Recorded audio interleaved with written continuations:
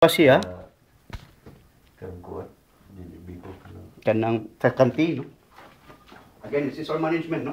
So so, so boy here. So again dili ni siya opera dili injection. Dili medicine no pure care so we release the tightness no? Kay tightness lang siya. Then mo after hot and tense we do the massage no?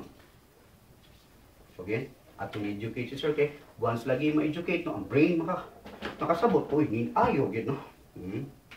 Okay we check Ah, katigay ano. So again, parehag kanal, no? Ang kanal, oh, di na flowing. Sus, dahil kayo, no? Labi naglabayan ni mo sagbot. So, pwede na ni mo tumba, no? Di na.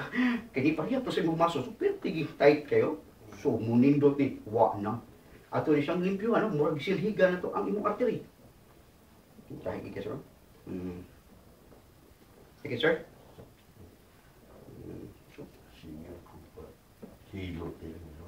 Uy, yan. Hindi siya paghilo, sir. Mm. Okay. See, good. Anyway, this is our first treatment session. And then education, you know.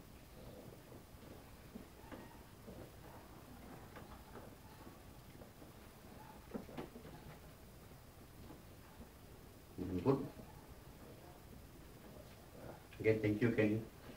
tao nó nig nig komensa again makataban sa kataw kan again. Sakit sakit gid medyo ni kon gid sir no gid ida ni kan tuidi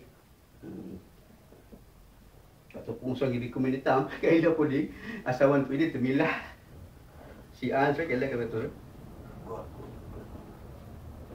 okay system management. Massage platform, pump okay thank you.